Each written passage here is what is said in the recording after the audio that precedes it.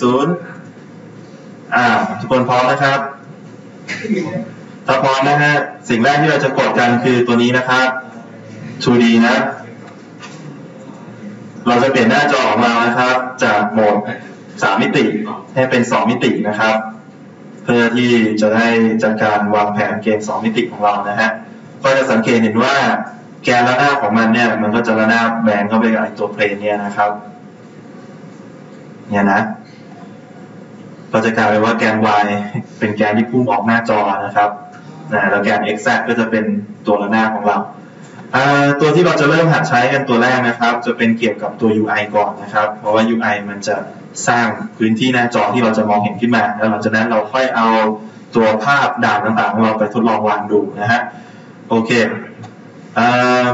ให้เลือกไปที่ตัว UI นะครับ แล้วก็เลือกบัตทอนสักอันก็ได้นะครับ เลือกบัตทอนเลยละง่ายดีนะ ตรงนี้นะครับ เลือกเป็นบัตทอนนะครับอ่ากดได้เลยนะมีกดเลยนะครับ โอเค เราจะได้บัตทอนมาแล้วนะครับซูมเอาออกมาอ่าซูมเอาออกมานะฮะอ่าออกมาพอสมควรนะ ตรงนี้เราก็จะเห็นบัตทอนของเรานะครับ เราก็สามารถที่จะเคลื่อนย้ายบัตทอนของเราไปได้นะครับ ลื่อนย้ายบัตทอนขอเราไปได้นะครับ ซึ่งการเคลื่อนย้ายบัตทอนของเราตรงนี้เนี่ย มันก็จะสัมผัสกับในตัวหน้าจอเรานะครับ ถ้าลองกดเพลย์ดู ก็จะค้นพบว่ามันจะอยู่กลางหน้าจอนะครับ มันไม่สนใจนะครับว่ากล้องตอนนี้มองไปที่ไหน สังเกตว่าถ้าเราคลิกไปที่กล้องกล้องมองไม่เห็นบัตทอนไม่เห็นอะไรเลยนะกล้องมองไม่เห็นนะครับ ตัวพวกบัตทอนพวก UI พวกนี้เนี่ยมันจะเป็นภาพที่มีหน้าที่ไว้แปะบนหน้าจอ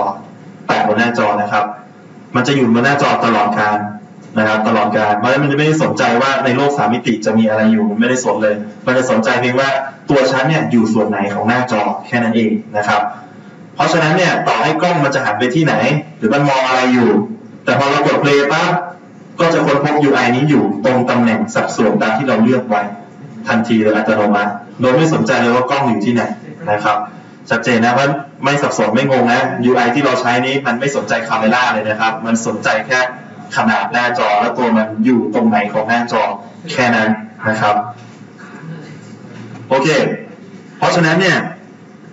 เพื่อให้เราไม่งงนะครับ ว่าไอตอนนี้ UI เราจะอยู่ส่วนไหนยังไงบ้างนะครับ เราก็จะใช้พื้นที่ตรงนี้ครับ ที่เห็นเป็นสีขาวบริเวณนี้เขาจะเรียกว่าพื้นที่ canvas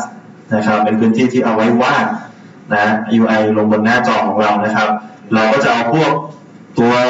ภาพต่างๆของเราเนี่ยมาแปะอยู่บนไอ้ส่วนตรงนี้ด้วยไปเลยนะฮะเพื่อที่จะให้ได้ขนาดใกล้เคียงกัน เราจะรู้สัดส่วนโดยอัตโนมัตินะครับโอเค เพื่อให้มันรู้สัดส่วนอัตโนมัตินะฮะให้เราไปที่ตัว main camera นะครับปรับคาเมล่าของเราให้มาอยู่กลางหน้าจอตรงนี้ก่อนนะครับ ให้มาอยู่ที่มองเห็น canvas ชัดๆนะฮะวิธีการปรับ คาเมล่าให้อยู่ตรง canvas นะครับ ก็เหมือนเดิมนะฮะเลื่อนตัว scene ของเราเนี่ยให้มันอยู่มองเห็น canvas ทั้งหมดตรงนี้นะครับ หลังจากที่เลื่อนให้อยู่ตรงนี้ทั้งหมดแล้วเนี่ยก็คลิกไปที่ main cameraนะครับ แล้วก็คลิกไปที่ตัว Game Object เหมือนเดิม Move to View นะครับ แล้วก็ Align with View นะครับอ่าก็จะเป็นมุมมองตัวนี้แล้วนะฮะหน้าที่ที่เราต้องทำต่อมานะครับ เดี๋ยวเราก็จะเริ่มเอาภาพ UI อะไรต่างๆ ของเราเนี่ยมาวางลงบริเวณนี้ นะครับ มาบริเวณนี้นะครับ ก็ให้ไปที่โฟลเดอร์ของ Kippy Cat เนี่ยนะครับ Kippy Cat ตัวนี้นะฮะก็ไปที่ 2D Game Asset Volume 1นะครับ แล้วก็เดี๋ยวเราจะลองเลือกมาวางหน่อยนะฮะอันดับแรกพี่เลือกเป็นท้องฟ้าก่อนแล้วกันนะ มันมีเสียงให้ด้วยนะครับ เอาไว้ไม่อินพอร์ตอ่าสกายอ้าวใครยังไม่อินพอร์ตรีบตามมาเร็วๆเลยฮะ ก็อย่างเงี้ยดูแต่มวยดูอะไรดูได้เลยอะไรดูเราไปเฟซก็ถึงว่าอินอร์ตออกกันไม่ได้อะไรพี่บิวตอนนี้มันจะมองไม่เห็นอะไรนะฮะเพราะเรายังไม่ใส่อะไรลงไปในหน้าจอเลยแม้แต่นิดเดียวปุ่มอะไรปุ่มมันหายไป ปุ่มอะไรพี่บิวหายไปครับปุ่มบัตทอนหายไป แสดงว่าเราไม่ได้ move to view อย่างเดียวแล้วเราอะไรวิบิวเราหันไปที่อื่นครับ กลับไปหน้าสี่เหมือนเดิมครับ แล้วพยายามเลือกหน้าจอให้เห็นตรงนี้อีกครั้งให้เห็นทั้งหมดตรงนี้นะเห็นที่สีขาวตรงนี้นะครับ เห็นแล้วให้เลือกเกม object move to view ก่อน แล้วค่อย align with view นะครับ move to view แล้วก็ align with view นะครับ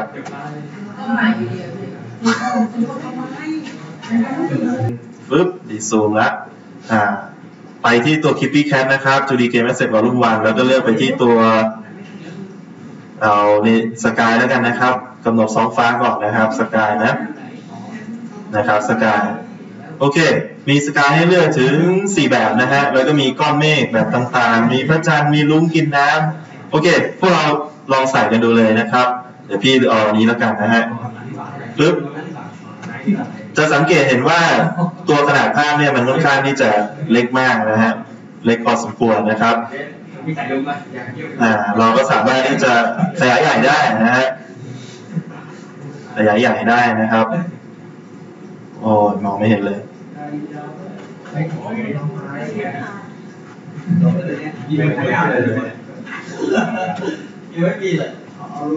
สงสัยมันจะอะปรับตรงนี้ก็ได้นะครับ ตรงสเกลปรับง่ายกว่านะครับ นี่นะ เนี่ยนะครับปรับตรงสเกลตรงนี้นะครับ จะปรับง่ายกว่านะครับ เราก็จะได้ท้องฟ้าตรงนี้นะฮะเราก็ลองเลื่อนมันดูนะครับ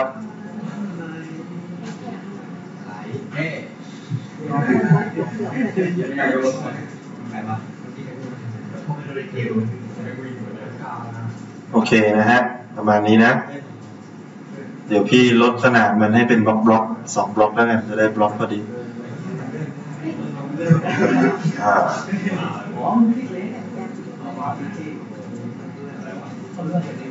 อ่ากดสเกลปกตินะครับอ่าเลื่อนไปได้ท้องฟ้าเราเองนะนี่เป็นท้องฟ้าเรานะครับอืมอยู่ในโฟลเดอร์ sky นะฮะขยับอะไรเอ่ย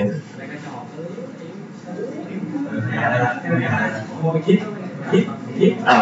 ต่อนะครับ มีตรงบริเวณนี้นะฮะให้เลือกได้เราก็เลือกเลยนะครับ ตอนนี้พี่เลือกก้อนเมฆนะฮะเลือกสีท้องฟ้าไปแล้วแล้วก็เลือกก้อนเมฆมาใช้นะครับก้อนเมฆก็เหมือนเดิมครับปรับให้เป็นสิบสิบไปเลยนะครับตรงสเกลนะครับ Inspector ปรับให้เป็นสิบสิบไปเลยนะ จะได้เห็นชัดๆง่ายๆหน่อยนะครับพี่ก็เอาก้อนเมฆของพี่ไปได้ก้อนเมฆตัวนี้แล้วนะครับ แอนเรียวมันก็ดูไม่ดีเนาะก็สามารถที่จะคลิกที่ก้อนเมฆนะครับ แล้วกด Ctrl D เหมือนเดิมนะครับ Ctrl D คือ duplicate นั่นเองนะ Ctrl D คือ duplicate นะครับ ก็ duplicate มันออกมา แล้วก็ลากมันออกมานะครับอันนี้เราแต่ไอเดียพวกเราเลยนะเดี๋ยวพี่ทำแบบง่ายๆก่อนนะครับโอเคได้ Ctrl D นะครับ Ctrl D แล้วก็ duplicate มันออกมา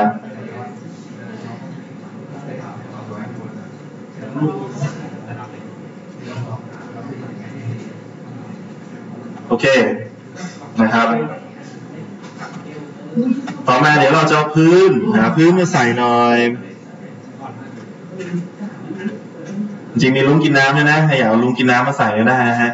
เอาลุงกินน้ำมา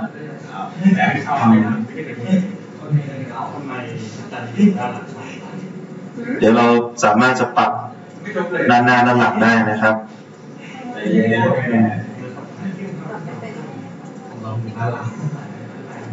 วิธีการปรับด้านหน้าด้านหลังนะครับ ถ้า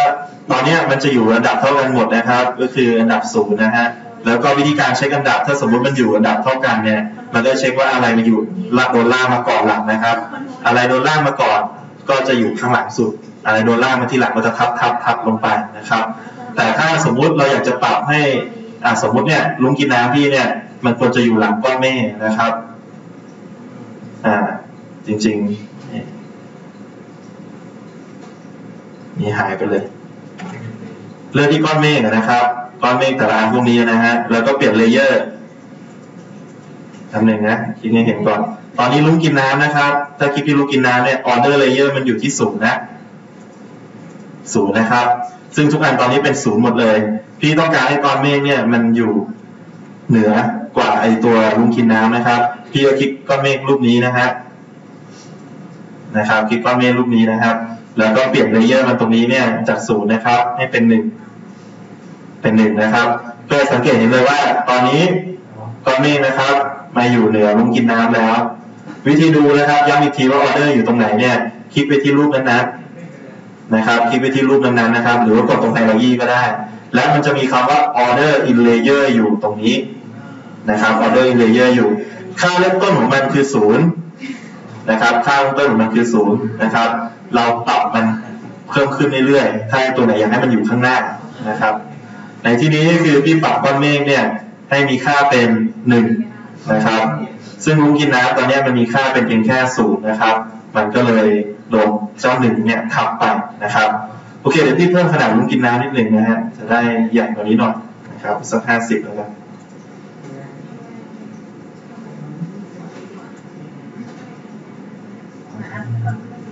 โอเคถ้าอย่างนั้นอยู่อะครับ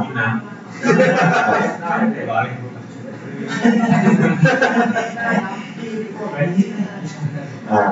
เราก็เลื่อนลุงกินน้ำของเราไปเนาะตามถนัดเลยอ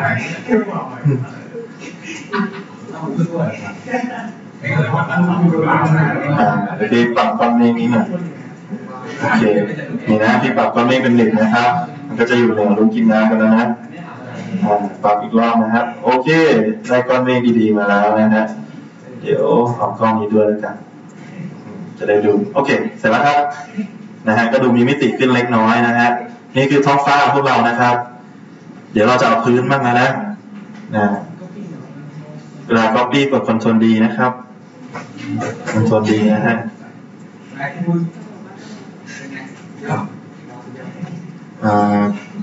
เดี๋ยวไปหาพื้นกันดีกว่า พื้น พื้นสวยๆ อยู่ไหน พื้นสวยๆอ่าไปที่ฟลอร์นะครับพื้นมันเล็กๆเนาะ p f a b มีไหมสวยๆเลเวล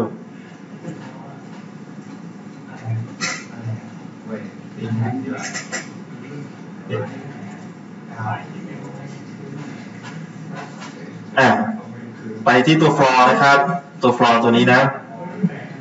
ฟลอร์นี้นะครับ แล้วก็เลือกตัว grass ก็ได้นะครับ อันใดอันหนึ่งก็ได้นะครับลองเลือกมานะ มี snow ด้วยเอาพี่เอา snow แล้วกันนี่ grass ดีกว่ามันน่าจะครอบคลุมกันมี grass นะครับ เหมือนเดิมลากใส่ไปนะ เพิ่มขนาดมันต่อไปหน่อย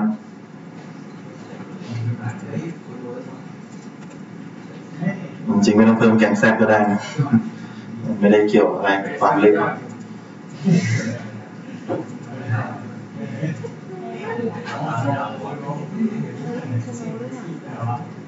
น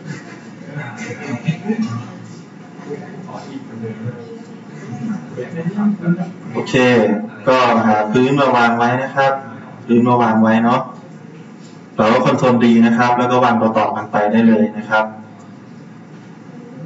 อืม พื้นจะอยู่ที่ฟลอร์นะฮะแล้วก็สามารถหาฟลอร์แบบต่างๆ มาใส่ได้เลยนะครับสำหรับเครื่องใครมีปัญหานะฮะหรือว่ายังสร้างตัวนี้ไม่ทันไม่เป็นไรนะเปิดแล้วอิ p พอร์ตมาก่อนนะครับเดี๋ยวมันจะมี scene สำเร็จรูปให้นะครับ เราจะเปิด scene สำเร็จรูปนั้นมาก็ได้นะฮะอ๋ออย่าลืมโหลด Cinema Director มานะ เดี๋ยวเราใช้ Cinema Director ในการทำนะครับ ใครยังไม่โหลด Cinema Director มาก็ Import เข้ามาด้วยนะครับ ถ้าเปิดโปรเจกต์ใหม่นะ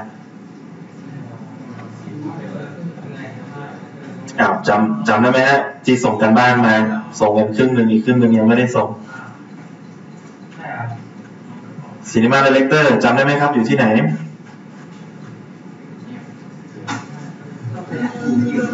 เนี่ยครับอยู่เนี่ยฮะไปที่การบ้านข้อที่สามนะครับซีนีมาสูตรอยู่นี่นะฮะไปดาวน์โหลดนะครับเหมือนสัปดาห์ที่แล้วเลยนะถ้ามีโปรเจกต์สัปดาห์ที่แล้วไม่มีปัญหาทำงานต่อได้ทันทีนะครับ ใครเปิดโปรเจกต์ใหม่ขึ้นมา ไปโหลดตัวนี้มานะครับ ไปโหลดตัวนี้มาไป import นะครับทำตัวนี้ก่อน UI ภาพเรายังไม่ต้องไปตกแต่งนะครับ เดี๋ยวเขาไปตกแต่งภายหลังได้โอเค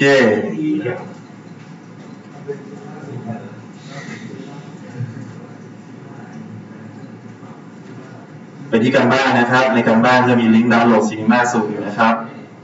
เราจะใช้ตัวนั้นนะฮะไอตัวที่เราส่งกันบ้านนั่นเองนะครับ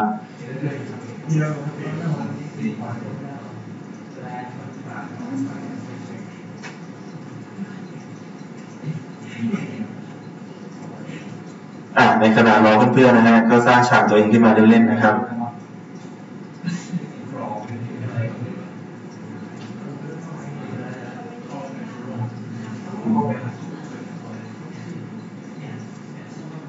ริงๆพี่ไม่น่าเอามาขนาดนี้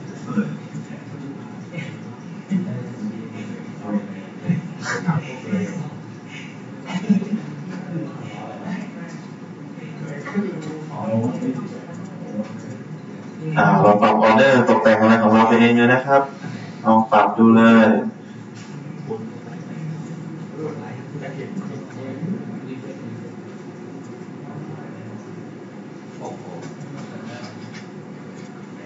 เอ่าสร้าง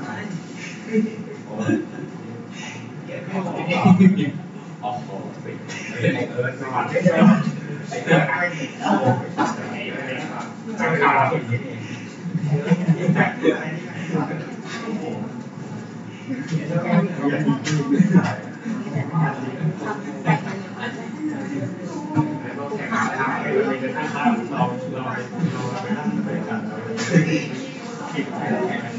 อ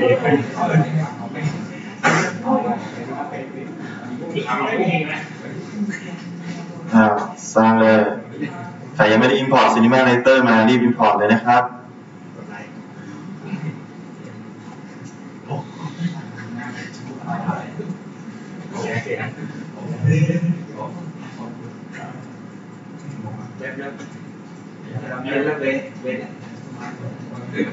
คือ ทำนี่อะไรก่อนว่า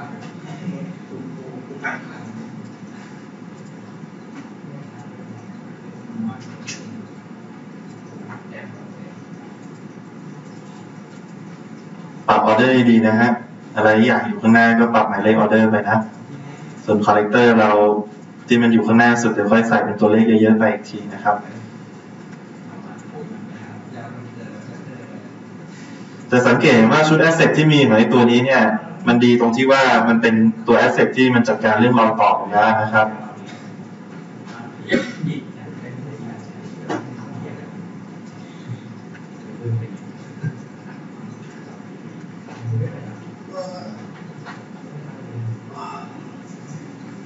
อ่าโอเค ตัวละครที่มันมีให้ใช้ตอนนี้เนี่ย ที่เราจะทดลองนะครับ ก็คือมีแค่นกแค่นั้นเองนะครับ ตอนนี้เรามีตัวแทนเป็นแค่นกตัวเดียวนะฮะ ก็มีนกแบบคิ้วขมวดกับนกแบบลืมตานะฮะ นกจะอยู่ที่นี่นะครับ อยู่ที่ folder bird นะ หรือใครอยากได้ป้อมปืนใหญ่มาแทนก็ได้นะครับ มีป้อมปืนใหญ่ด้วย มีน้ำด้วยนะฮะ แล้วก็มีตรงแบ็คตัวนี้นะครับ เนี่ยมีลูกยิงกระสุนป้อมปืนใหญ่นะครับเผื่อจะเอาไปใช้ในเกมพวกเรานะ โอเค ดูเบิร์ดนะครับ เบิร์ดเอาตัว prefab มาใช้เลยนะครับ ตัว prefab มันจะชื่อว่าเอ่อเนี่ยนะฮะ red A ที่เป็นทรงสี่เหลี่ยมตัวนี้นะครับ red A ทรงสี่เหลี่ยมนะลองลาก red A มาดูนะครับก็ตัวเล็กนิดเดียวเนาะมองไม่เห็นก็ขยายมันขึ้นมาเหมือนเดิมนะครับ red A เป็นกล่องสี่เหลี่ยมนะเอาตัว prefab นะครับ ไม่เอา animator controller หรือ anim นะฮะไม่เอาไฟล์ภาพนะครับเอาไฟล์ที่มันรวมแล้วนะฮะ ปึ๊บโอ เคตัวมันก็ยังเล็กอยู่เนาะออเดอร์ตัวนี้นะครับจัดออเดอร์ให้มันแบบเยอะๆเลยได้นะฮะเดี๋ยวพี่ขอขยายชอบไปปรับสักสักห้าสิบแล้วกัน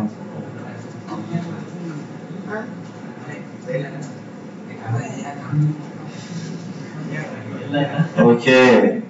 สังเกตครับว่าถ้าเราใช้นกตัวนี้เนี่ย นกมันจะไม่มีตัวออเดอร์นะฮะ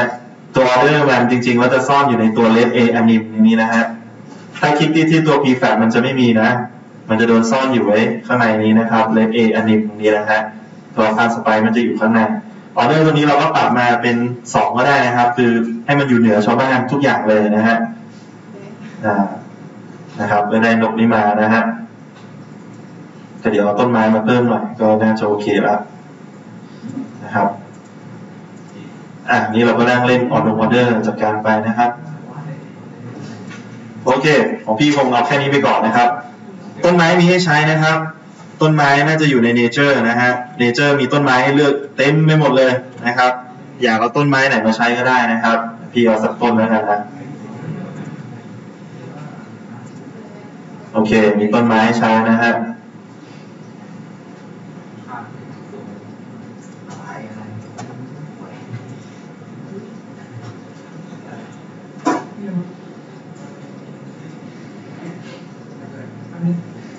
เอาไอ้พีระมิดออกไปเลย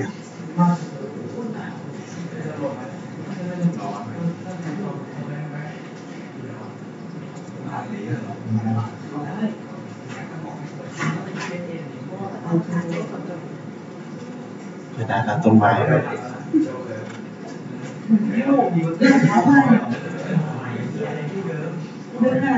โอเค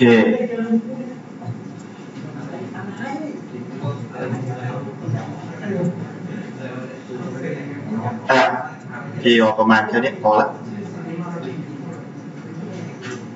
ซีนีมาเรคเตอร์ใครไม่เจอนี่นึกย้อนกลับไปเมื่อสัปดาห์ที่แล้วเลยนะครับเราทำได้เนี่ยการบ้านใครยังไม่ส่งนี่รู้เลยเนี่ยนะฮะอ้าวมาดูนะครับ ใครหาไม่เจอนะฮะ ไปเซิร์ชคำว่า homework week 2 นะครับ homework week 2 ตรงนี้นะฮะ cinema scale อยู่ตรงนี้นะครับ นี่คือ tool ที่เราจะใช้ในการส่งโปรเจกต์นะครับ เพราะฉะนั้นเซฟไว้ใน handy drive เซฟไว้ใน google drive ตัวเองเซฟไว้ที่ไหนก็ได้ หรือจำชื่อมันให้ได้นะฮะเราจะต้องใช้พวกนี้อยู่แล้วนะครับ ในการทำงานนะครับอะพี่คลิกลิงก์ให้ดูอีกทีอะปึ๊บคลิกเข้าไปลิงก์นี้เลยนะฮะซีนีมาสูตรนะครับ ใครยังไม่ Import เข้ามานะครับ เอาไปโหลดเลยนะฮะซีนีมาสูตรเนี่ยนะครับ ก็เหมือนเดิมนะครับ คลิกเข้าไปที่ Editor นะฮะแล้วก็โหลดตัวนี้นะครับ Cinema สูตรเนี่ย Unity Package เนี่ยมาใช้เลยนะครับ 30 เมกนะฮะ เพราะฉะนั้นแนะนำว่า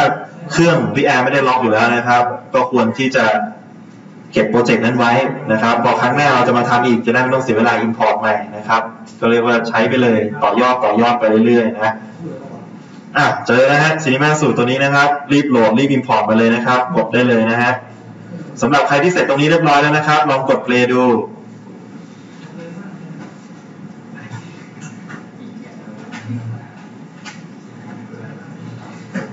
กดเพลย์ดูแล้วเช็คนะครับว่าตำแหน่งมุมกล้องเนี่ยเป็นไปตามที่เราต้องการหรือเปล่านะครับ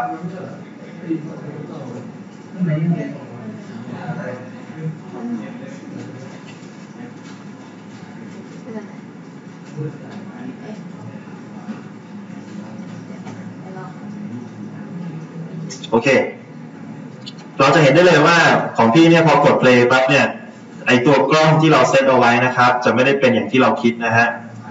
ก็เดี๋ยวมานั่งปรับมุมกล้องกันนะครับนี่นะนี่คือเห็นนะครับนกก็กระพือปีกไปเรื่อยนะครับพี่ก็กดนี้ออกก่อนนะฮะกดไปที่ main camera นะครับ เราก็จะเห็นภาพแล้วว่าตอนนี้ main camera มันมองเห็นอะไรบ้างนะครับ ในส่วนนี้นะพี่สิ่งสำคัญที่สุดคือตรงนี้นะครับ ปรับมุมมองจาก perspective ตรงนี้นะฮะ กล้องให้เป็น orthographic นะครับ เพื่อให้มันมีแค่ระนาบนะ มองเป็นระนาบนะครับ พอมองเป็นระนาบแล้วเนี่ยของบางคนจะเห็นได้เลยว่าวิมันมองแล้ว zoom in เข้าไปมากเกินไปนะครับ เราซูมเอาออกมาได้นะครับ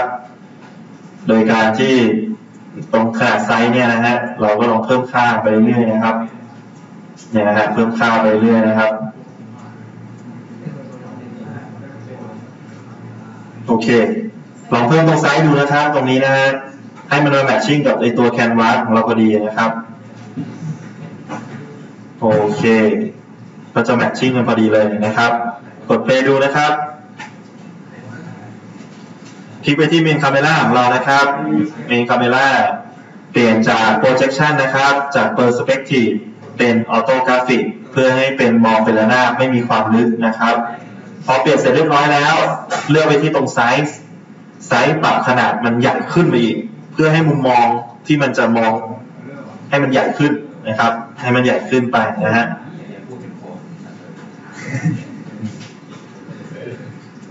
โอเค เราก็จะมีบัตทอนอันหนึ่งนะครับ มีนก คุณนกที่อยู่เฉยๆนะฮะ คุณนกยังไม่ทำอะไรเลยนะครับอะ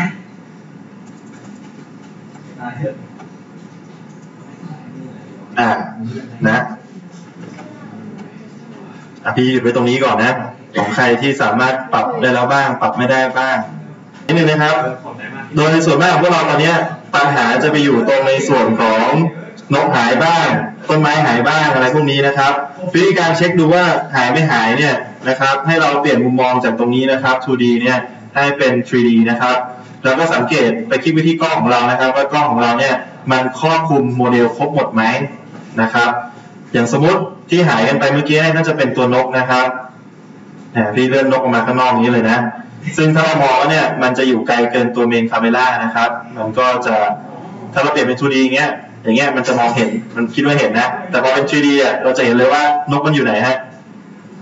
มันอยู่ข้างนอกกรอบแล้วนะ เพราะฉะนั้นเรากด play ปั๊บเนี่ย มันก็จะไม่มีนะครับ นะครับ ถึงแม้เราจะเห็นในซีนสองมิติเห็นนกก็ตามนะ แต่พอไปกด play ปั๊บมันอยู่นอกเหนือกล้องนะครับ ก็จะมีปัญหาไปแล้วก็แค่เลื่อนมันมานะฮะอ่าก็ใช้งานได้ปกตินะครับ คืออันนี้ไม่มีปัญหา แต่ที่มีปัญหามากหน่อยนะครับ ที่ประหลาดกันก็จะเป็นของกันนะครับ ของกันเนี่ยบัคคอนโดนซ่อนไว้เลยนะฮะซึ่งแม่โดนซ่อนได้โดนซ่อนได้อยังไงงงเหมือนกันนะครับ ก็เลยพอ new scene ใหม่ก็สามารถใช้ได้ปกตินะครับ อันนี้พี่ก็ยังงงเหมือนกันนะโอเค เรามาต่อเลยนะครับ เดี๋ยวเราจะสร้าง scene cutscene ขึ้นมาเพื่อใช้ Cinema Director เนี่ยควบคุมนะครับ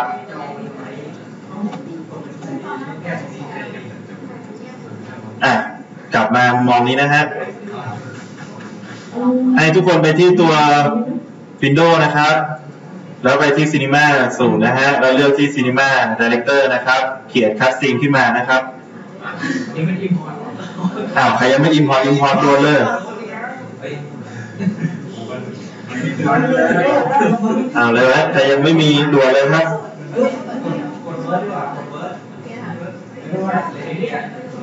อ้าวใครมีแล้วนะครับ สร้างคัสซีนขึ้นมาเลยนะครับ ดูตามเหมือนเดิมไหมเหมือนตอน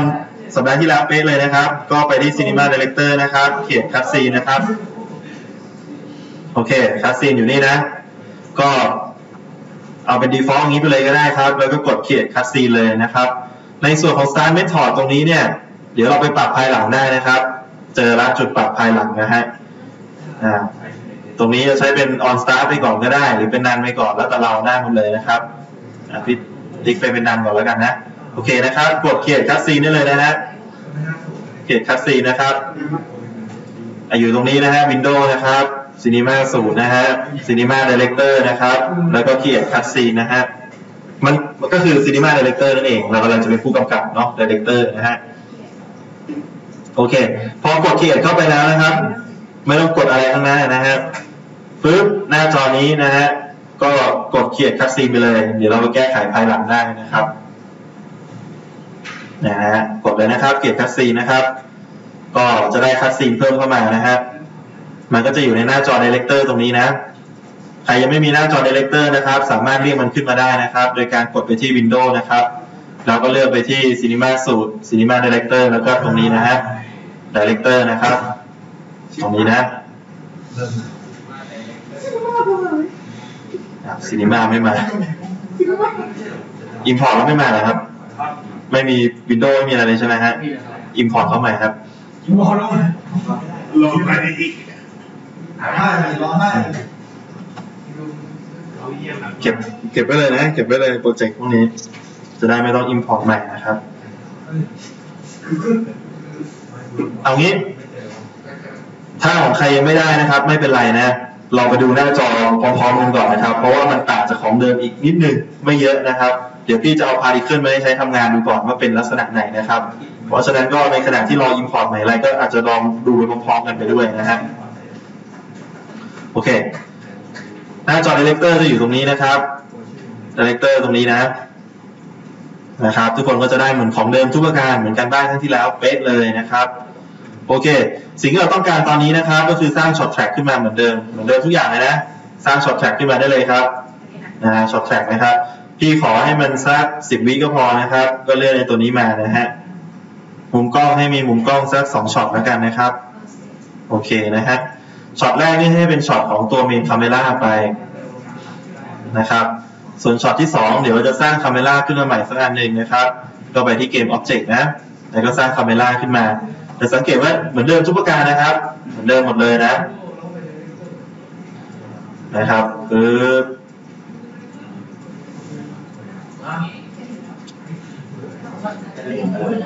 เจอไหม Director เล็กเริ่มขึ้น Director ไม่ขึ้น เนี่ยนะฮะคอนโทรลชิปดีตรงนี้นะครับ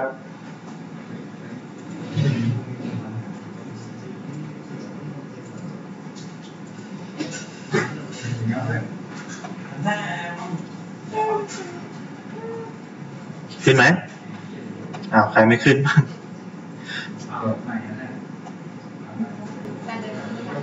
สร้างมาสองช็อตเลยนะฮะ เหมือนกันมากครั้งที่แล้วเลยทุกประการนะครับ สร้างสองช็อตนะครับ อีกช็อตหนึ่งใส่ไปอีกคาเมล่าตัวหนึ่งนะฮะคาเมล่าอีกตัวหนึ่งอาจจะใส่ไว้เดี๋ยวพี่สร้างขึ้นมาใหม่อันนี้นะคาเมล่าตัวใหม่อยู่นี่นะครับ เดี๋ยวพี่จะเอาไปให้มันมองเห็นนกแล้วกันนะ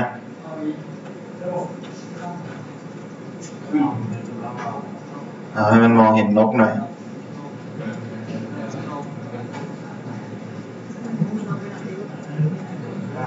ย้ำอีกครั้งนะครับ ถ้าสมมุติมันมองไม่เห็นนก หรือมันมองไม่เห็นอะไรเนี่ย เราเปลี่ยนมุมมองเป็นจาก 2D เป็น 3D นะครับ เพื่อเห็นภาพว่ากล้องมันกินพื้นที่เห็นหมดไหมนะฮะอ่านี่พี่ก็เลื่อนมาหน่อยจะได้เห็นนะครับ นี่ก็เห็นหมดแล้วนะฮะโอเค กล้องตัวที่สองเนี่ย เราจะพยายามให้มันมองเห็นที่ตัวนกนะครับนะฮะให้มันอยู่ที่ตัวนกเข้าไว้นะฮะปรับไซส์มันลงเน้นไปที่ตัวนกเป็นพิเศษ โอเคนะครับ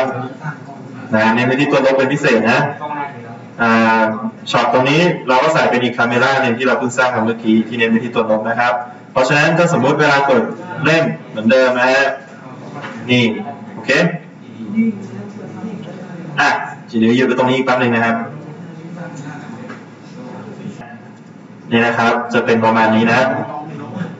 ปรับจาก 2D นะครับ เป็น 3D นะฮะ จะได้เห็นตรงนี้นะครับ แล้วเลื่อนซ้ายเลื่อนขวาปรับได้นะครับ นะฮะ เดี๋ยวพี่ซูมเอามันออกมาหน่อยดีกว่า เวลาซูมอะไรตรงนี้นะฮะ ก็ตัวเลขมันอยู่นี่เนาะ เลื่อนมาทางซ้ายตัวเลขหน่อย มันจะเป็นเครื่องหมายไปทางซ้ายไปทางขวาเพื่อขยายนะครับ เราสามารถเลื่อนได้เลยนะ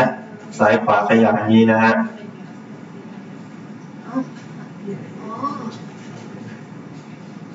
โอเคนะครับ อันนี้ก็จะเป็นปรับมุมกล้องของแบบโหมด Orthographic นะครับ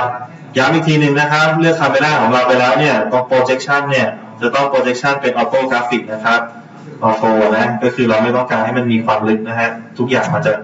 เป็นระนาบเดียวกันหมดเลยเท่ากันหมดนะครับ ไม่มีความลึกซ้ายขวานะฮะอะตอนนี้ถ้าของใครได้แล้วนะครับ ก็จะเป็นตามนี้นะครับ เวลาที่ไปหน้าจอหน้าเกมเลื่อนซ้ายเลื่อนขวามันก็จะวืบอย่างนี้นะฮะ ซึ่งแน่นอนถ้าของใครที่ได้แล้วลองกด play ดูนะครับ เนื่องจากว่ามันมีการเซตแอนิเมชันของเจ้านกนี้ไปแล้วนะฮะ ว่าให้มันกระพือปีกนะครับ มันก็กระพือปีกนะฮะ ไม่ต้องพูดมันไม่กระพือปีก กด play หรือยังครับ ไม่เป็นไรรีซูมนะครับ ถ้าเราอยากให้กล้องตัวที่ซูมเนี่ยมันตามเราไปทุกที่นะครับ ง่ายสุดก็คือเลือกไอ้กล้องตัวซูมตัวนั้นนะฮะเอาไปไว้เป็นรูปของตัวนกของเรานะครับก็หานกเราอยู่ไหนนกเราอยู่นี่เนาะเลดเองนี้นะครับ ก็ลากคาเมล่าตรงนี้ไปเลยนะครับ ลากขึ้นไปข้างบนเลยปึ๊บเอาไปไว้ที่เจ้านกเลยนะครับ ก็จะปรากฏขึ้นมาว่าตอนนี้คาเมล่าเนี่ยนี่นะฮะคาเมล่านี้นะครับ เป็นรูปของนกไปแล้วนะครับ นี่นะเป็นรูปของนกไปแล้วนะ อันนี้นะครับ เพราะฉะนั้นถ้าเมื่อไหร่ก็ตามที่นกเคลื่อนที่นะครับคาเมล่าก็เคลื่อนที่ตามไปด้วยนะครับอ่าเดี๋ยวพี่ขอออกจากโหมดนี้ก่อนนะฮะอ่าลากนะครับเลือกคาเมล่านะฮะวางไว้ข้างบนเลยนะครับ วางไว้ที่เจ้าตัวนกเลยนะฮะปล่อยไว้ที่ตัวนกเลยนะครับก็จะค้นพบว่าตอนนี้คาเมล่านั้นเป็นลูกของนกไปเรียบร้อย ถ้าเรามองเป็นมุมมอง scene นะฮะ ถ้าสมมุติว่าพี่เลื่อนนก เลื่อนนกนะครับ ก็ส่งผลว่าคาเมล่ามันเลื่อนตามไปด้วย นี่นะฮะ คาเมล่าเลื่อนตามไปด้วยทันทีนะครับอ่าเพราะฉะนั้นลูกเคลื่อนที่ตามแม่นะฮะ เอาให้คาเมล่าเป็นลูกของเจ้านก ให้นกเป็นแม่นะครับ แม่เคลื่อนที่ไปไหนลูกไปด้วยนะฮะ โอเคนะ อะ เดี๋ยวเราจะขยับเจ้านกให้มันเคลื่อนที่ไปข้างหน้าแล้วนะครับ วิธีการให้เจ้านกเคลื่อนที่ไปข้างหน้านั้นทำเหมือนเดิมนะครับ ก็คือ เราจะต้องมี actor track ขึ้นมานะครับ ซึ่งแน่นอนว่าของพวกเราน่าจะยังไม่มี actor track เราก็สามารถสร้าง actor track ขึ้นมาได้นะครับ วิธีการสร้าง actor track ทำเหมือนเดิมทุกประการนะครับ กดไปที่ create นะครับ เลือก actor track group เหมือนกันบ้านทุกประการนะ actor track group นะครับอ่าแล้วก็ตรงสีแดงตัวนี้ เราคลิกไปที่สีแดงตรงนี้นะฮะแล้วก็เลือกไปที่เจ้า bird ของเรานะครับ ก็คือ red A นั่นเองนะฮะนะครับ let a นี้นะครับ ในซีนเนาะอ่าก็เป็นการระบุไปชัดเจนว่า track actor ตัวนี้จะเอาไว้ควบคุมเจ้านกนะครับ แล้วก็เหมือนเดิมครับเพื่อให้มันเคลื่อนที่ไปข้างหน้า เราก็ต้องเลือก curve tag นะเหมือนเดิมนะ curve tag นะครับ เพื่อที่จะกำหนดการเคลื่อนที่ของมัน ได้ curve tag แล้วนะครับ ก็คลิกขวานะฮะ add curve แล้วก็ไปที่ transform แล้วก็ position เหมือนการบ้านเดิมทุกประการนะ ในการทบทวนนะครับ ใครที่ยังไม่ส่งเนี่ยก็เหมือนทำกันบ้านเดิมไปด้วยนะอ่า position นะครับฟึบอ่าตอนนี้เราจะได้ตัวนี้มาแล้วนะครับ พี่ก็จะขยาย curve คลิปตัวนี้ให้มันเต็มเต็มเลยนะฮะเต็ม 10 วิไปเลยนะครับ แล้วก็กด edit นะครับเหมือนเดิมเลยนะ edit นะ แล้วก็เดี๋ยวจะเลื่อนเจ้านกนะครับ ให้มันไปข้างหน้านะฮะตอนนี้เรามีเจ้านกอยู่นี่ นกอยู่นี่นะครับ ตอนเริ่มต้นอยู่ที่นี่ เริ่มต้นอยู่ตรงนี้ อ่า แล้วก็ตอนจบสักตอนนี้บินไปถึงนี่ละ บินเร็วมากปึ๊บโอเค ส่วนตอนจบให้ ให้อยู่ที่เดิมไปอะประมาณนี้ปรับกราฟให้เป็นประมาณนี้นะครับ เพราะฉะนั้นตอนนี้เราจะเห็นแล้วว่านกบินไปข้างหน้าอย่างรวดเร็วนะฮะฟืบฟืบฟืบฟืบนะครับ โอเค เหมือนตอนที่เราบังคับกล้องของทุกประการเลยนะ อันนี้เราเปลี่ยนมาเป็นบังคับตัวนกแทนนะครับอ่าโอเค ก็ลองดูหน้าจอเกมนะครับ ก็จะเห็นคนพบว่าปึ๊บมันก็จะเปลี่ยนไปตามกล้องนะฮะอ่าครับดูหน้าซีนว้า ตัวนี้พี่เรื่องนี้หน่อยดีกว่าจะได้เห็นชัดเจนว่ามันเคลื่อนที่ฮะโอเคเนี่ยนะครับก็จะเห็นว่ากล้องมันเคลื่อนที่ตามไปด้วย ฉากมันก็เลยเปลี่ยนไปด้วยนะครับปึ๊บอย่างนี้นะนี่โอเคนะครับหยุดไว้ตรงนี้ก่อนนะฮะตอนนี้เรากดเพลย์นะฮะมันจะไม่เล่นอะไรเลยนะครับ เพราะตอนที่เรา create scene ขึ้นมาใหม่เนี่ย ตรงนี้นะฮะ พี่บอกว่าให้ทุกคนครับ เลือกเป็นนานให้ทุกคนเลือกเป็นนานนะครับ โดยปกติถ้าเป็นของสัปดาห์ที่แล้ว จะให้ทุกคนเลือกเป็น on start นั่นหมายความว่าถ้ากด play ปั๊บเนี่ย play ตรงนี้คือ on start นะฮะก็ให้เล่นแอนิเมชันที่เราทำเลย แต่ตอนนี้เนี่ยพี่เลือกเป็น none นั่นหมายความว่าไม่ให้เล่นแอนิเมชันอะไรทั้งนั้น ยังไม่กำหนดลงไปว่าจะให้เล่นแอนิเมชันตอนไหนเพราะต่อให้เรากด play ตรงนี้ มันก็ยังไม่เล่นอะไรทั้งสิ้น นะครับ จะยังไม่เล่นอะไรทั้งสิ้นเลยนะฮะโอเคงั้นคำถามที่เราเกิดขึ้นก็คือ แล้วถ้าสมมติผมเปลี่ยนใจละหนูเปลี่ยนใจละอยากให้กด play ตรงเนี้ยแล้ว on start มันก็เล่นเลยได้ไหมคำตอบคือได้นะครับ ครั้งที่แล้วพี่บอกไม่ได้เนาะอ่าเพราะว่าเรายังไม่ได้ใช้อีกตัวหนึ่งนะครับ ถ้าอยากให้ได้เนี่ยเราจะต้องลากอีกตัวหนึ่งมาทำงานนะฮะ อีกตัวหนึ่งจะอยู่ที่นี่ครับ ให้ทุกคนไปที่ตัว project นะครับ project ตรงนี้นะฮะ ไปหาโฟลเดอร์ Cinema Director นะครับ Cinema สูตรนะฮะ แล้วก็ไปที่ Cinema Director นะครับ ข้างในจะมีโฟลเดอร์ที่ชื่อว่า prefab อยู่นะครับ อีกทีนะฮะ เข้าไปที่ Cinema สูตรนะครับ Cinema Director prefab แล้วลากตัวนี้มาครับ มันชื่อว่า cutscene trigger cutscene trigger ตัวนี้นะครับ cutscene trigger ล่างมันมาไว้ในฉากมันเลยนะครับ ปล่อยไปเลยนะฮะ เช็คดูดีนะฮะ Cinema สูตร Cinema Director prefab แล้วก็ปิดท้ายด้วย cutscene trigger ล่างเอาไว้ข้างในนะครับพอล่างมาวางแล้วนะครับ ใน hierarchy เราก็จะปรากฏ cutscene trigger ตรงนี้ขึ้นมานะครับ ก็คลิกที่ cutscene trigger นะครับ มีตรงนี้นะฮะอ้าวมีใครไม่มีมั้ย โอเคนะครับนี่ได้ cutscene trigger นะเนี่ย cutscene trigger นะครับ ตรงนี้เป็น on start นะฮะแต่ว่า cutscene จะยังว่างอยู่นะครับ เราเพียงลาก cutscene ของเรานะครับมาวางไว้ตรงนี้ปึ๊บโอเคลองกด play ดูครับ ก็จะค้นพบว่ามันเริ่มเล่นแอนิเมชันที่เรากำหนดไปแล้ว ตั้งแต่ตอนที่เรากด play นะครับปึ๊บโอเคอะ stop มาดูกันนิดนึงนะฮะอ่าจริง ๆ มันจะมี error นะครับ error ว่าตรงนี้ฮะเห็นตรงนี้ไหมครับ script button name จำซึ่งเราไม่ได้ตั้งเอาไว้พอไม่ตั้งเอาไว้มันจะเกิด error นะตอนเล่นกด play นะครับเนี่ยกด play นะนี่สังเกตนะครับตรงคอนโซลจะเกิด error ขึ้นมาเรื่อยๆนะครับแล้วก็ถ้าสมมุติว่าของพวกเราไปติ๊กตรงนี้ไหมครับ ของชูจะไปติ๊กตรงนี้ไปนะ error pause คือถ้ามี error ปั๊บหยุดเลย นะฮะซึ่งแต่ของพวกเราปกติ ถ้าถ้าปกติเราจะไม่ติ๊กตรงนี้ไว้ ก็ส่งผลให้ error ปั๊บก็ยังเล่นต่อไปนะครับอะเดี๋ยวมาดูวิธีการเอา error ตรงนี้ออกกันนะครับเอ่า error ตรงนี้ออกนะครับ ก็คือมันมีคำว่าจ้ำตรงนี้ใช่ไหมฮะเป็นปุ่มเอาไว้ skip แอนิเมชันนะครับ คือให้หยุดเล่นแอนิเมชันนั่นเองนะครับ ให้เราไปที่ตรงนี้ครับ edit นะครับ ตอนนี้ใครยังไม่ได้ไม่เป็นไรนะ ให้ดูตรงนี้ไปก่อนนะครับทำตามไปได้ได้เลยนะ จะได้ไม่เกิด error ภายหลังนะครับ edit ตรงนี้นะครับไป edit นะฮะไป preference นะครับ เอ้ย edit project setting input นะครับ ตรงนี้นะ edit project setting แล้วก็ input นะครับ คลิกดูเลยนะครับ edit project setting input นะฮะปึ๊บจากค้นพบครับว่า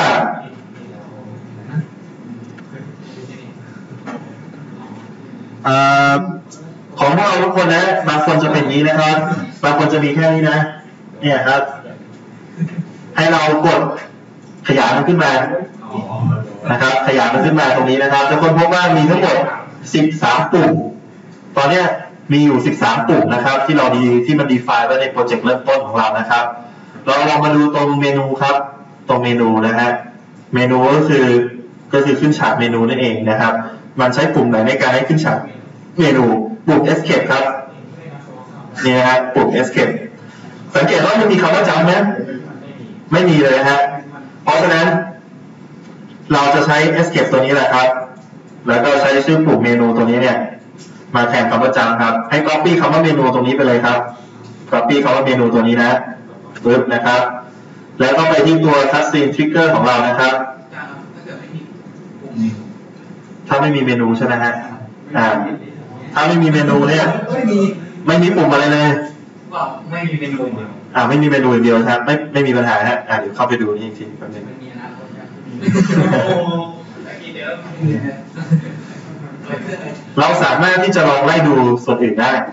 นะครับ หรืออยากจะสร้างขึ้นมาเองก็ได้นะครับอะเดี๋ยวไหนละสร้างขึ้นมาเองเราลองดูเลยเนาะนะฮะอ่าเปลี่ยนจากเลขตัวนี้นะครับ ถ้ามันเป็น 13 อยู่นะฮะลองเปลี่ยนเป็น 14 ดูนะครับแปดเลยอ่า เพิ่มขึ้นมาสักอันหนึ่งอะเดี๋ยวเราจะซับปุ่มของเราขึ้นมาเองสักอันหนึ่งนะครับ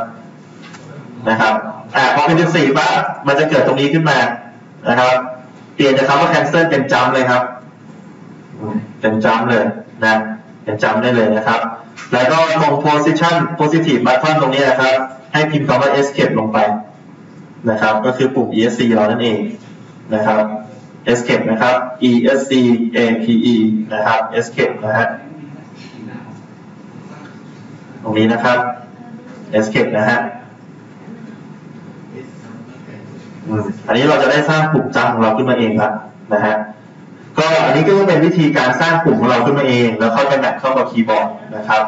เราก็สามารถจะตั้งชื่อปล่อยพลังแล้วก็ไปแมทเข้ากับกลุ่ม P กลุ่มอะไรแล้วแต่เราได้เลยนะฮะหรือ map เข้ากับจอยสติ๊ก map เข้ากับเมาส์แล้วแต่ได้หมดเลยนะฮะ โอเคนะครับ แค่นี้เองนะ ได้จำอะไรนะครับ เดี๋ยวพี่จะลองกด play ดูนะครับ ว่า error จะหายไปไหมนะฮะอ่าของชูลองดูเลยนะครับ เป็นจำแบบนี้นะฮะ พอกด play ปั๊บ error น่าจะไม่มีแล้วนะครับ error หายไปแล้วนะครับแล้วถ้าสมมติพี่กด ESC หยุดเล่นทันที หยุดเล่นแอนิเมชันทันทีนะครับ อ่าเอาใหม่นะปึ๊บ error ไม่มีแล้วนะครับ error หายไปแล้ว แล้วพอกด ESC นะฮะ คือ Jump นี่เองคือ skip นะครับปึ๊บหยุดเล่นทันทีจบแอนิเมชันอยู่ที่เดิมทันทีนะครับนะเนี่ยมันจะอยู่ที่เดิมทันทีนะครับเดี๋ยวลองอีกทีหนึ่งตรงซีจะได้เห็นชัดเนาะอ่ากด ESC ปึ๊บปึ๊บปึ๊บต้องกดในเกมอะกลับมาที่เดิมทันทีนะครับโอเค นี่คือวิธีการสร้างปุ่มขึ้นมานะฮะหยุดไว้อีกครั้งอ่า นะครับ ที่เป็นอย่างนั้นได้ก็เพราะว่า Cutscene Trigger ของเราตรงปุ่มคำว่าจำนะครับ มันมีความหมายว่า Skip Button นะฮะก็คือปุ่ม skip แอนิเมชันนั่นเอง เล่นๆอยู่ก็ปุ๊บจบตัดจบเลยนะครับ เป็นประมาณนั้นนะฮะโอเค แต่สิ่งที่เราต้องการจริง ๆครับ เราต้องการให้มันเกิดแอนิเมชันขึ้นตอนที่เรากดปุ่มครับ กดปุ่มสั่งนะฮะไม่ใช่ว่ากด play ตรงนี้นะครับ เพราะฉะนั้นครับ เดี๋ยวเราจะ เปลี่ยนจากตรงนี้นะฮะเป็น on trigger ครับ เป็นจุดที่เราสั่งเองนะสั่งให้มันเล่นเองนะครับ เปลี่ยนตรงนี้นะครับเป็น on trigger ครับ ไปที่ cutscene trigger นะฮะนะ cutscene trigger นะครับ ที่เมื่อกี้เนี่ยเราใช้เป็น on start นะฮะเปลี่ยนเป็น on trigger นะครับ on trigger นะฮะ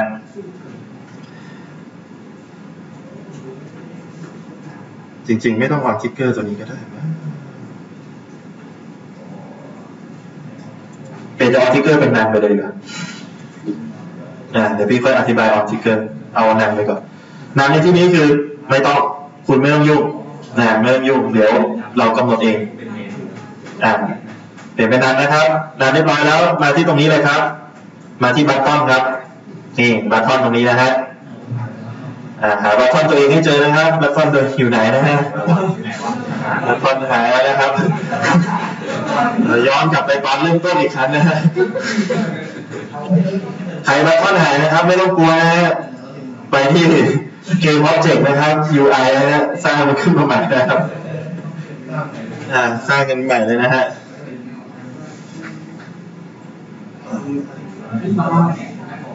โอเค ถ้าบัตทอนมาแล้วนะครับไม่เป็นไรนะฮะ ใหญ่ๆ อยู่ตรงไหนก็ได้ มันอยู่ไปนะฮะ ยังไงมันก็ต้องทำสัดส่วนอยู่ตรงหน้าจออยู่แล้วเนาะ อะเริ่มไปที่บัตทอนของเรานะครับ แล้วก็เพิ่ม add component ตรงนี้เข้าไปหน่อยครับกด add component นะครับ add component ตรงนี้นะฮะไปบัตทอนก่อนนะครับ add component นะครับ นี่ล่างสุดเลยนะฮะของใน inspector นะครับลงมาข้างล่างสุดเลย เดี๋ยวเราจะเพิ่มความสามารถให้ปุ่มนี้ครับ ให้มันเป็นปุ่ม play cutscene นะครับ play cutscene โอเค กดไปเลยครับ add component ปึ๊บนะฮะ พิมพ์คำว่า play ครับ play ลงไป play cutscene นี่นะครับ play cutscene นะฮะ โอเคนะครับ เราเลือกเลยนะฮะปึ้มฝั่งนะครับ อ่า แล้วใน cutscene ตัวนี้นะครับ มันก็จะถามว่า แล้วจะให้ฉันเล่น cutscene ไหนล่ะ เราก็ทำเหมือนเดิมครับ ลาก cutscene ของเราเองมาใส่นะฮะนี่ลาก cutscene จากอย่าอย่าคลิกนะฮะต้องกดค้างนะครับ กดค้างตรง hierarchy นะครับ แล้วก็ลากมาเลยฮะลากมาใส่ตรงนี้เลยครับปึ๊บนะครับไม่พลาดเลยอ่าเพราะฉะนั้นตอนนี้ปุ่มมันก็จะรู้แล้วว่า ถ้าคลิกปุ่มนี้เนี่ย เดี๋ยวมันจะเล่นคัดซีนนี้นะครับคัดซีนที่เราสร้างขึ้นมานี้นะครับ แต่ว่าเรายังเชื่อมไม่เสร็จครับ ที่เราต้องเชื่อมต่อไปคือเชื่อมเมาส์เข้ากับเปคัดซีนนะฮะ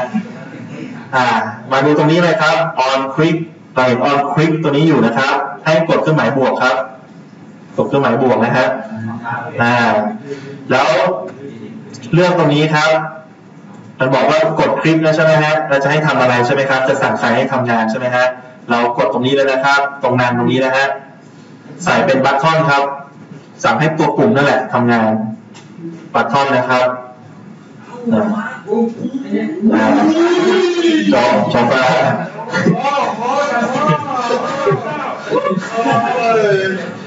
โอ้ไม่เป็นไรฮะ เดี๋ยวดูดูดูก่อนนะอะกดบัตทอนตรงนี้นะครับ แล้วสังเกตนะตรงนี้จะมีชุดคำสั่งขึ้นมาให้เลือกครับนะชุดคำสั่งที่เราจะเลือกนะครับ นี่ครับ play cutscene ครับ และเลือกเป็น trigger ครับ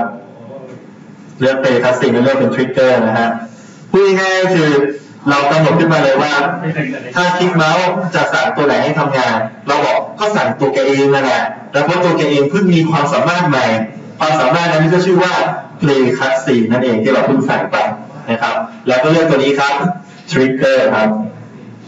play c u t 4แล้วก็เลือก trigger ครับ trigger นะฮะกดเลยนะครับพี่กดนะครับ เรียบร้อยครับ ออกมาก็จะหน้าตาประมาณนี้ครับของปุ่มเรานะฮะอ่าก็มีชื่อว่าออนคลิกนะฮะจะไปสั่งคุณปุ่มทำงานนะครับ คุณปุ่มทำอะไรดีล่ะ คุณปุ่มก็ play cutscene trigger นะครับ play cutscene อยู่ไหนก็อยู่ในคุณปุ่มอยู่แล้วนะฮะเพลงอะไรล่ะเพลงตามนี้เลย cutscene นะครับโอเคครับลองกดเล่นดูครับพี่ก็จะกดปุ่มนะ มันก็จะเล่นนะครับหรือ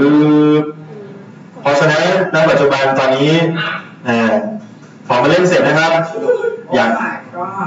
ให้มาเล่นใหม่ก็ได้นะฮะกดอีกทีปึ๊บนี่ไม่งั้นมาเอ้ยเอ้ยงั้นไม่มาจอไม่ได้จอโอ้โหนะครับเจ้าอะโอ้โหจอยิงเอ้ยเจ้าเจ้าเอออะเดี๋ยวพี่ไปดูเนาะ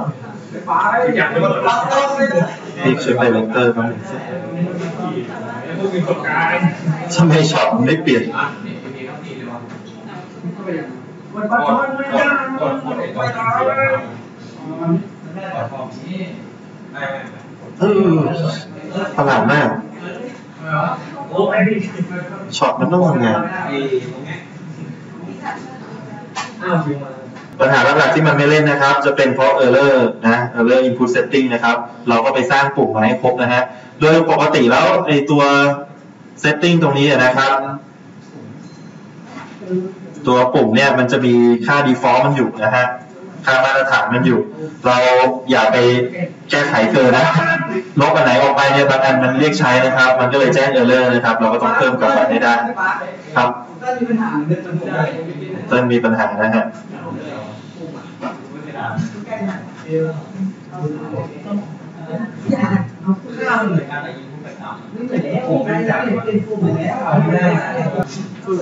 นะครับ เมื่อกี้ปัญหาของเราก็คือมันไม่ยอมย้อนกลับมาจุดเริ่มต้นตรงนี้ให้นะฮะ เราก็เลยเดี๋ยวเอากล้องจุดเริ่มต้นของเราเนี่ยมาใส่ไว้นี่เลยนะครับก็คือเจ้าเป็นคาเมล่านั่นเองนะฮะ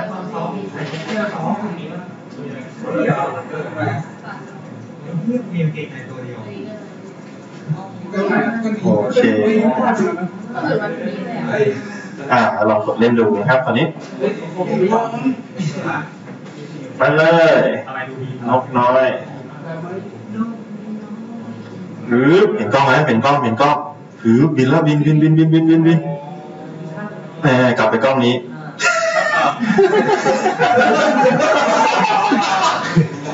เกือบดีแล้ว เกือบดีหยุดหยุดบันทึกหยุดบันทึกหาวิธีอ่าวิธีการแก้ไขนะครับ เมื่อกี้เราเห็นเลยว่าปัญหาเนี่ย พอเรากดตรงนี้ไปแล้วมันจบปั๊บมันกลับมาเนี่ยกล้องมันทำงานพร้อมกันทั้งสามตัวเลยนะครับ กล้องทำงานหมดเลย ไม่ว่าจะเป็นเมนคาเมล่าก็ทำงาน กล้องตัวนี้ก็ทำงานมันกลายเป็นว่าทุกกล้องทำงานหมดเลย จึงทำให้เกิดปัญหานะครับ เพราะฉะนั้นตอนเริ่มต้นฉากเนี่ยเราจะจัดการ disable กล้องที่มันไม่ทำงานออกไปก่อนนะครับ โดยเฉพาะกล้องตัวนี้นะที่จะ disable ไปก่อนนะครับโอเค อย่างนี้นะแล้วก็ไม่เห็นครับนะครับลองเล่นดูนะฮะปึ๊บนะครับอ่าลุ้นนะฮะลุ้นลุ้นได้ไหมได้ไหม อ่ามาละลุ้นละ ไม่น่าได้อ๋อกดเล่นอีกทีอื้อเกาะได้นะครับ เพราะฉะนั้นย้ำอีกครั้งนะครับ ที่มันเกิดปัญหาเมื่อกี้ขึ้นเนี่ย เพราะว่าตอนที่เริ่มต้นฉากเนี่ย เราต้องกำหนดไปก่อนว่าจะมีกล้องไหน สามารถทำงานไม่ได้บ้างนะครับ พอเราไม่กำหนดสมมุตินะเดี๋ยวกลับไปก่อนนะปัญหาเมื่อกี้คือ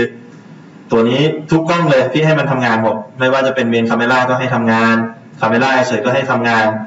พอเรากด play ไปแล้วเนี่ยแล้วเรากดสั่งมันเล่นนะครับ